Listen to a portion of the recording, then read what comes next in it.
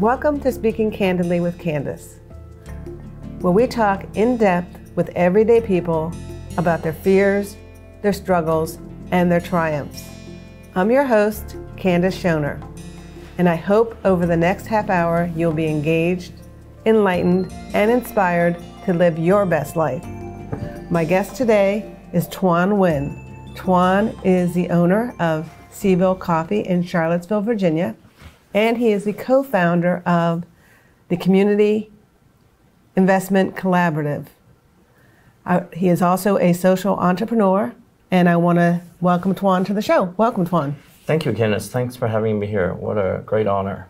Well, I, I, appreciate it, and it's my honor because you have done so much for the community and helping lift people out of poverty. And as an entrepreneur, um, you've just done so many different things, and uh, so we have lots to talk about. My first question is Did you know you always wanted to be an entrepreneur? No, I did not.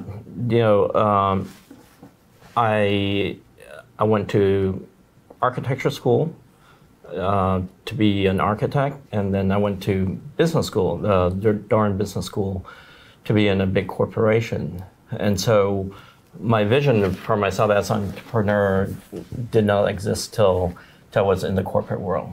And then I realized the price that uh, one has to pay, or I have to pay, to be successful in the corporate world. And that's when I decided this is not this is not worth it. And you seem to pay it forward with your success. Um, tell us a little bit more about the Community Investment Collaborative, or CIC. Well, to me, you know, uh, so as, as you just learned, entrepreneurship came a little later to me. And that's when you realize how precious is, how powerful entrepreneurship is.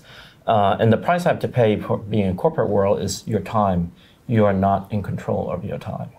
That is the the thing I didn't realize, and the thing I realized very quickly. And and it's it's brutal on your family, you know. Um, and it was, you know, while I was in the corporate world, it was very sexy. Uh, we lived in Paris, and uh, the whole family lived in Paris where I was with United Technologies and you know flew to everywhere. You know, Milan, Singapore, Tokyo, oh. um, I, Amsterdam. So it was a dream job in the sense that what you imagine what a corporate world job would be. You know, um, very very flashy. But then when whenever I, whenever I'm on that plane, I'm not with my family, uh, and that's the price I realized that I didn't want to pay. And so, so uh, when we start, uh, so I got out of the corporate world because of that, and uh, start doing um, our own st- um, gig, being an entrepreneur. And then I realized how powerful it is that when you're uh, in control of your own destiny, you control your time, and also it's it's like being an artist. You're ex- you're uh, expressing to the world who you are, that you know, your vision of the world. Speaking about the artist part, C'ville Coffee, which is your business that you've had for 20 years in Charlottesville, was not initially a coffee shop, right? That was not your intention. Actually, it was um, a furniture store uh, first. So, as, as I was saying, uh, I have a degree in architecture, and so I love to design and I love to create, um, you know, modify space. And so when we have that, um, the space where we're in right now, it was for a furniture store, and so I design and make furniture there, like bookcases, tables, and you know semi-custom stuff. And it was extremely successful also. Um, and then so we opened that store in 2000, and guess what happened in 2001? 9/11, and then right. nobody was buying furniture because nobody know even if they're going to have a house or not. Right. Uh, it was a lot of fear. And so that business just tanked because of 9 11. But uh, fortunately, or unfortunately, we had a 20 year lease in that space. Mm. So we had another 19 years on the hook with that space. So we have to re- reinvent ourselves. And so we turned into a coffee shop. Well, good for you for reinventing yourself because it's been very successful. There, I know that there have been some years that there's been some challenges, but I know the story about how it became C'ville Coffee. Would you mind sharing that with our listeners? So yes, um, so we, like I said, we have that huge space, and it's like 3,500 square feet, which is huge for you know. You wouldn't want to do that uh, start out as a coffee shop. but we have this little room in the front uh, that that that was not used, and my daughter, who was eight at the time, uh, thought it was a great idea to make it into a little coffee shop, so that way people can come in and buy a two dollar cup of coffee, and then sit our, at the tables that we designed and made, and look at the you know the bookcase and all that. So for her, it was like that's a great marketing ploy It was. to get people in. Uh, and so we thought, great, you know, what a great idea. So we turned that little room into a coffee shop first. Uh, but we did not, that was not like the main business. The main business was the furniture part. Well, I know you said family is very important to you, and you talked about your family and leaving the corporate world to spend more time with your family. Am I correct that your wife did some of the baking initially, and maybe she still does? Uh, initially, she did uh, all of the baking, uh, and now we have grown so much that uh, she, she doesn't do it. She offload to us, uh, and she does uh, a little bit of it. Yes. I want to go back because I don't know that we actually answered the question about what is CIC and what you're doing there. So uh, CIC is um, a nonprofit that helps people with a vision and uh, with a lot of energy, because that's what it takes to be an entrepreneur is a lot of energy, uh, to start their own business. And it's a way to become self-sufficient.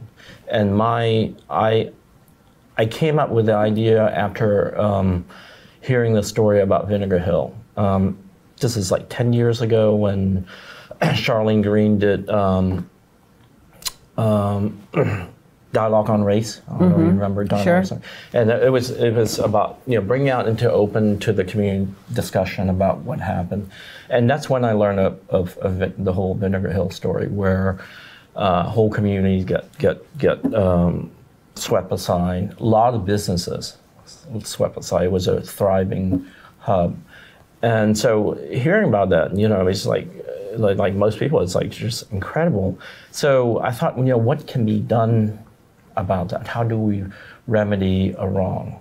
And so, you know, and obviously, you know, people have been helped with it, you know, giving, but to me, that's that's not the answer. The answer is how to restore economic self-sufficiency and pride, because when you earn your own money, when you grow your own business, that's human dignity, and that cannot be given. It has to be earned.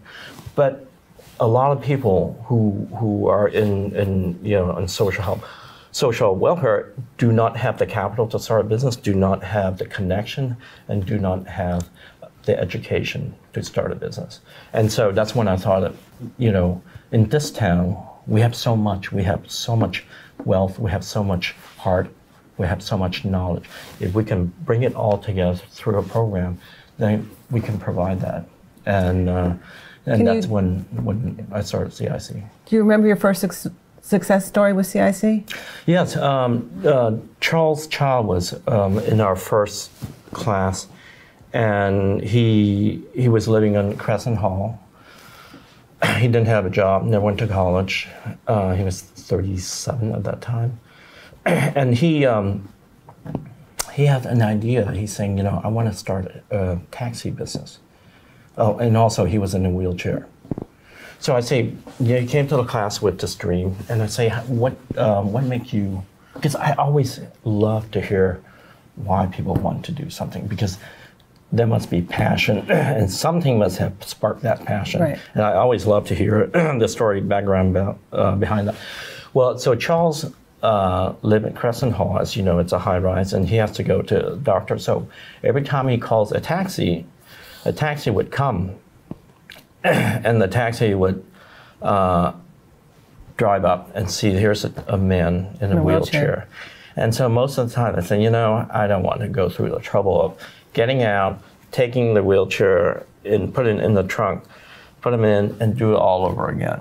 And, and Crescent Hall is near the, the downtown mall, so I say, well, forget that. I'm just going to go pick up a tourist. It's much so much easier. So most of the time, the taxi driver would just leave him there. And so he would say, you know, Wow. instead of getting angry, he's saying, wow, if this happens to me, it must happen to every, uh, you know, Other person in the situation, So he wanted to start a, a business. And so he did. So through CIC, we funded him to, he has a car, uh, to convert into a handicap accessible. Uh, we we we help him with the pricing. We help him with promotion, and he he a year later he moved out of Crescent Hall and have his own apartment. That has got to make all the people involved, including yourself, feel so proud of what you've done for this this man. Oh yeah, You've and- changed his life. And then, you know, it's talking about generation change also. So here he, he was dependent on the welfare system. Right. And now he's out of it. And he, at that time, he had a 16 year old son. Boy, his son was so proud of him, you know, to see his father uh, have a, a, a dream and then went after it and become successful. But there's not going to be all Charles stories. There's going to be some stories of people who've tried to start a business who, and have failed. Oh yes, but you know, it's a journey, isn't it? I mean, life is is journey. We, I don't see as failure. I, I see everything as self discovery. And I'll tell you um, a story. There's this man. Uh, his first name is Wade, and he's like a 56 year old man. Who, for some reason, and I still never knew why, but he has this dream of opening a coffee shop. And I would ask him, you know, why would you? And he said, no, I just have this idea. And he'd been at it for like five years. And he would go to SCORE with his business plan. And SCORE is a wonderful organization. I mean, you know, SCORE is an organization of retired executive who help people start their own business. Uh, and he would go to them with his business plan, and they would say, you know, wait, this is not going to work because so, so, so, so. And he wouldn't believe them because he, he thought, you know, you just don't have faith in me. Right. And so he went through, he was the same class as Charles, the first one.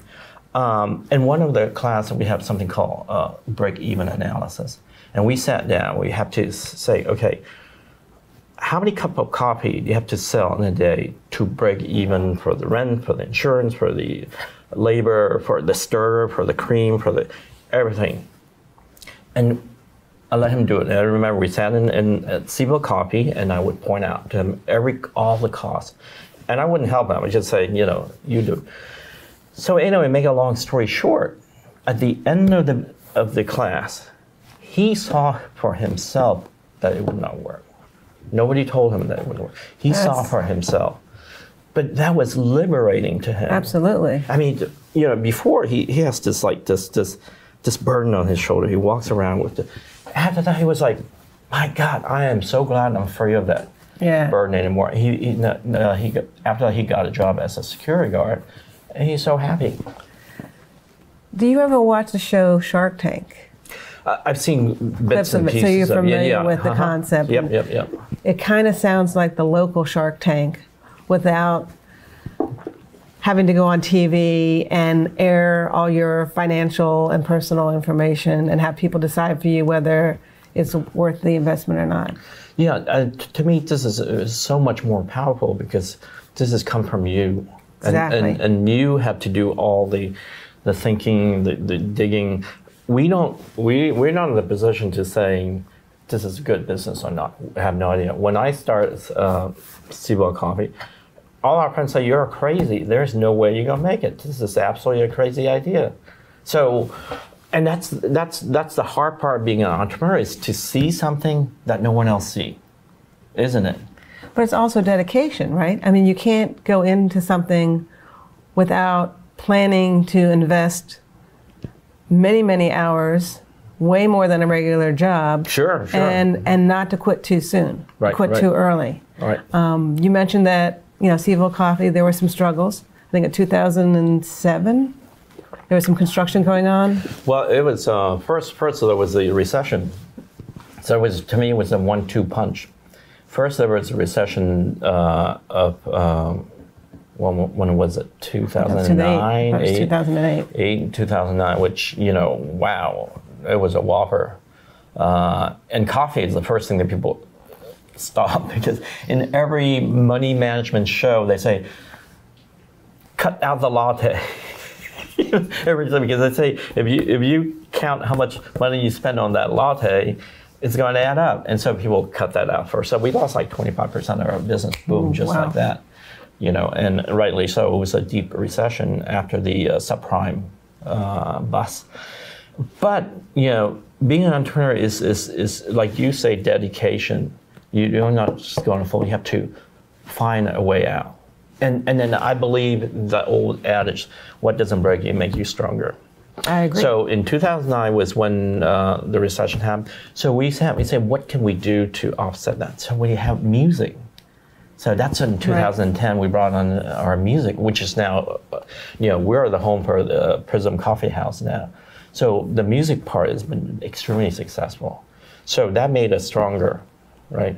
And so that was 2009. And then, so we got over that. We thought, oh, phew, we made it. And then I think 2012, 13 was when the construction of the 250 bypass, you know, Meadowbrook Parkway. And that was harder on us than the construction because uh, it was during the daytime and they worked, you know, eight to five, just like a banker. Uh, you remember the Rio Road construction, they worked at night. And so during the day, there was no, no traffic uh, jam. Well, for, for us, it was like 30 minutes traffic jam either way. And some days you can't even get into our uh, complex. Right.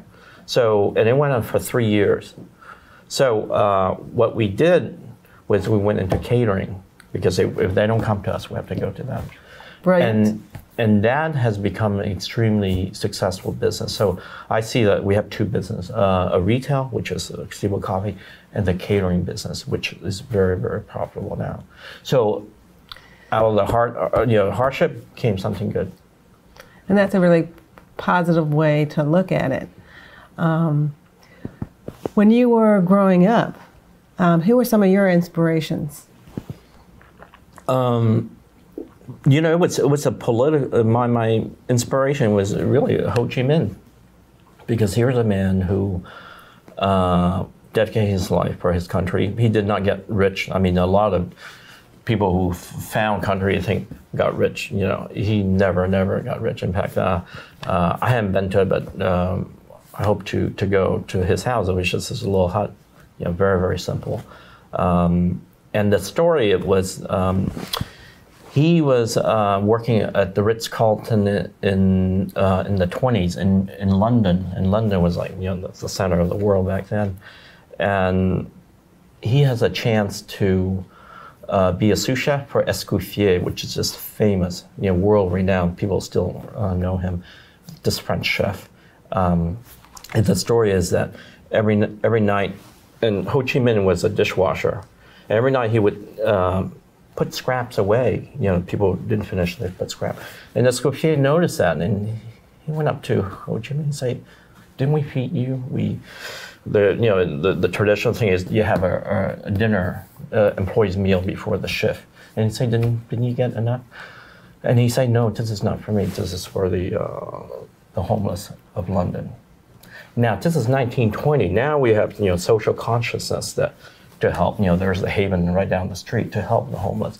But back then, it was dog eat dog. I mean, there's no one to help anybody in 1920. So he was sort of the first social entrepreneur, maybe. Yes, yes, he was. And so he said, after my shift, I go and, and give this out to the homeless of uh, London.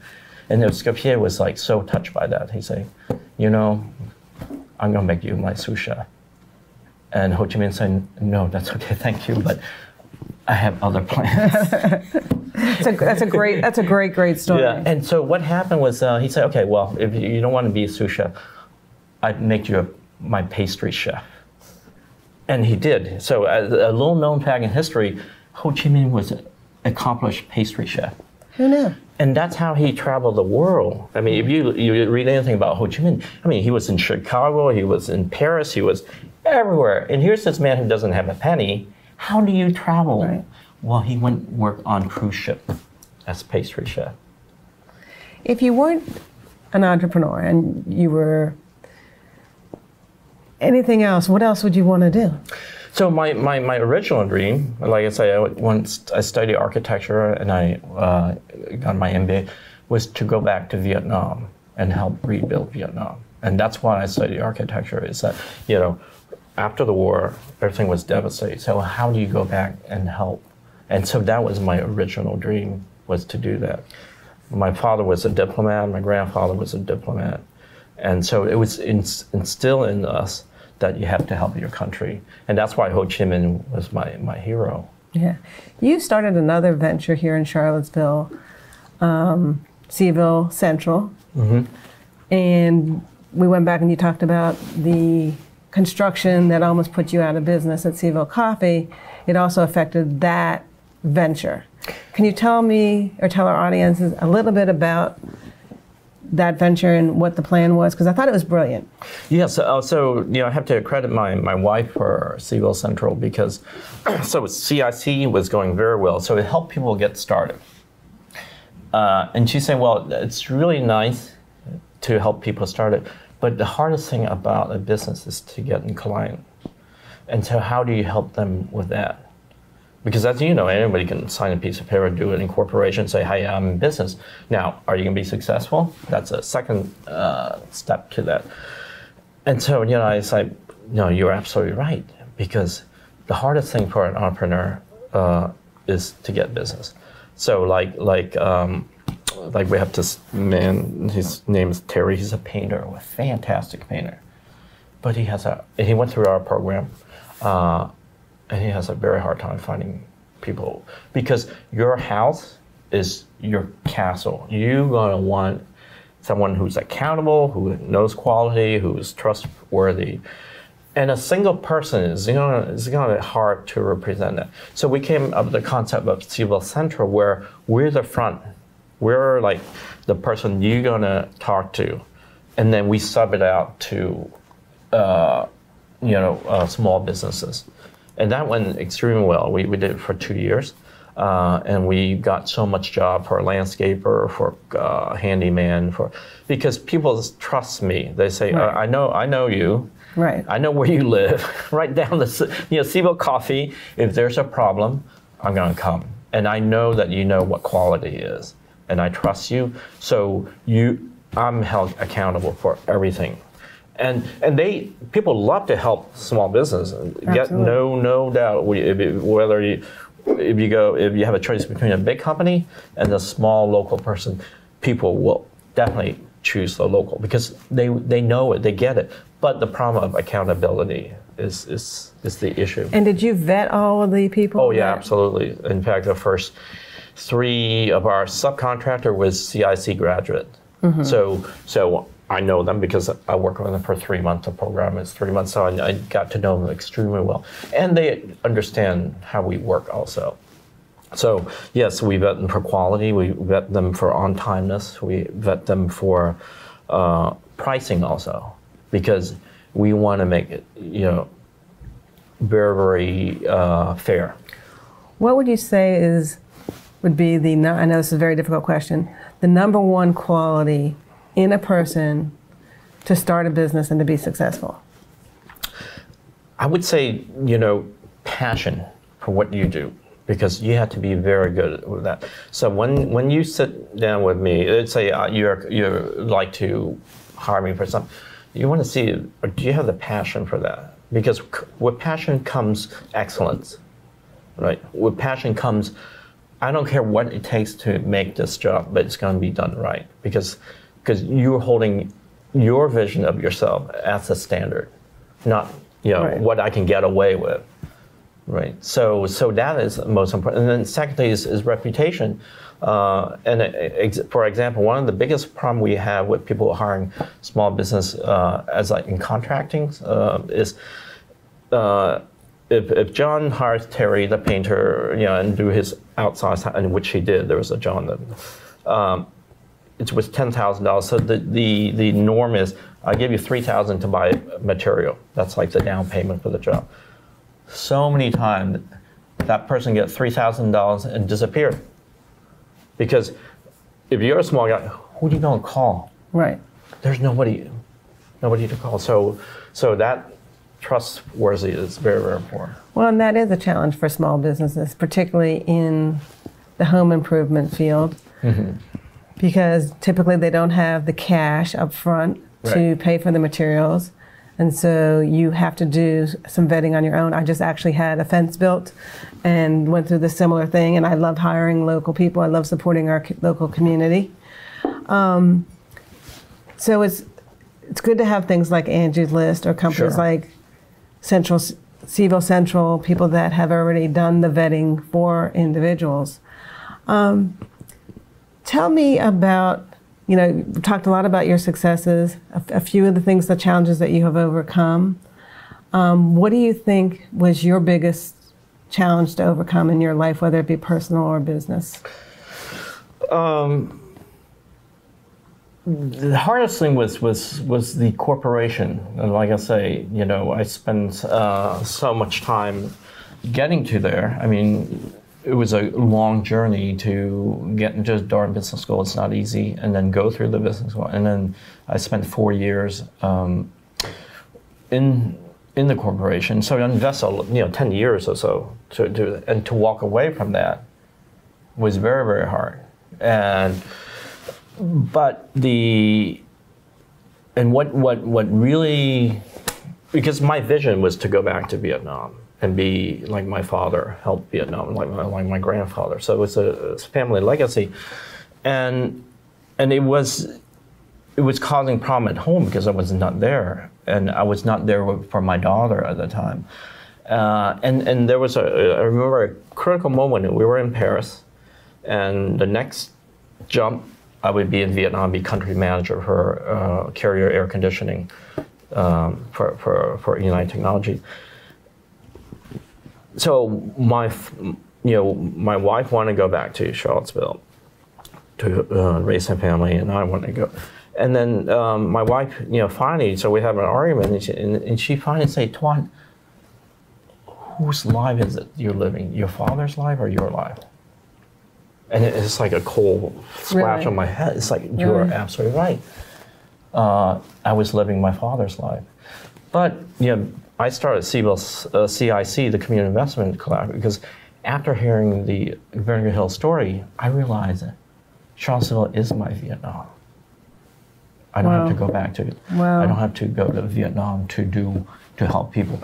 I can be right here and help my own community. And that is the note that I want to end on because I think that's why I wanted to be on the show. So inspiring, your whole philosophy and what you have done for the community and helping the people out of poverty. I thank you for speaking candidly with me. And to everybody out there, please remember every cloud has a silver lining. Until next time, this is Candace with Speaking Candidly with Candace.